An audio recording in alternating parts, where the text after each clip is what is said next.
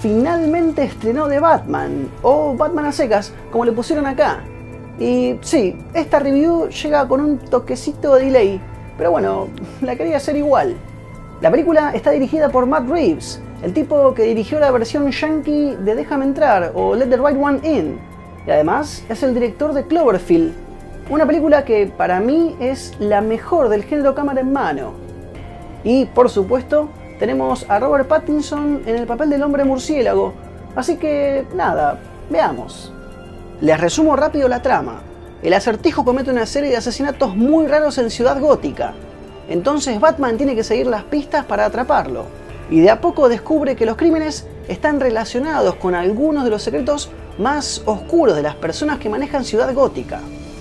Lo primero que llama la atención y que para mí es el acierto más importante es que acá tenemos a Batman en modo World's Greatest Detective. O sea, tenemos a un Batman en modo detective, bien fiel al cómic. Un cambio bastante interesante en relación a lo último que veníamos viendo de Batman en el cine. También desde lo estético el planteo es distinto, porque volvemos a la ciudad gótica sucia y oscura, más a tono con el estilo del Batman de Tim Burton. Comparándola, por ejemplo, con la trilogía de Nolan, acá la historia transcurre casi por completo de noche, y la ciudad se vuelve un personaje en sí mismo. En todas las escenas hay un clima pesado y sombrío que no afloja nunca.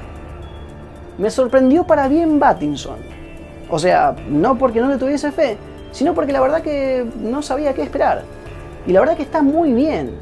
Me gustó mucho este Batman que no es musculoso ni que se destaca por lo físico, sino que es un Batman más tirando a flacucho, que tiene que usar su intelecto por sobre su fuerza. Paul Dano está muy bien como el acertijo, pero pierde un poco de fuerza cuando lo vemos, digamos, de civil.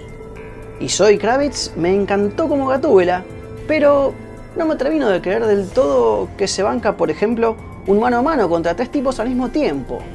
A nivel dramático está impecable, eso seguro, pero el physique du rol no me terminó de convencer. Hay un balance muy bueno entre los villanos, algo que en general suele fallar casi siempre en las películas de superhéroes, en especial en las que ponen más de un villano en la historia. Acá tanto el acertijo como el pingüino están muy bien equilibrados dentro de la trama. Cada uno tiene su momento para brillar y lo aprovecha a pleno, y no se sienten para nada forzados. Vemos muy poco a Bruce Wayne en pantalla. Casi el 90% de la película vemos a Batman, lo que me parece un recontra acierto porque es lo que pide la historia. Y también un poco porque Pattinson haciendo de Bruce Wayne me pareció un poquito blando. Hay muy pocas escenas de acción. Es más que nada una película de crimen y misterio antes que otra cosa. Parecería como una combinación entre pecados capitales y un poquito del juego del miedo, pero todo metido dentro del universo de Batman.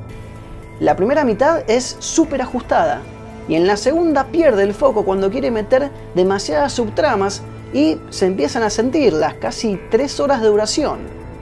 Pero a pesar de eso, la verdad es que The Batman es un reinicio muy interesante que rescata muchos aspectos originales del personaje que en el último tiempo estaban un poco olvidados. Así que le voy a dar 4 estrellas. Espero que les haya gustado mi review, por supuesto, en los comentarios cuéntenme ustedes qué les pareció de Batman. ¿Bancan a Battinson? ¿Bancan este reinicio del personaje? ¿Les parece que ya está listo y no da para más? ¿Les gustan las pelis de Barton, las de Nolan, las de Snyder, las de Schumacher? Recuerden que todo el contenido de Hoy Sale Cine también lo encuentran en motion.com.ar. Y este video, por favor, compártanlo, arrobenlo, me gustenlo, suscríbanse al canal tilden la campanita y todas esas cosas que digo siempre al final de cada video. Mi nombre es Ale Turdó y una vez me saqué una foto con Spielberg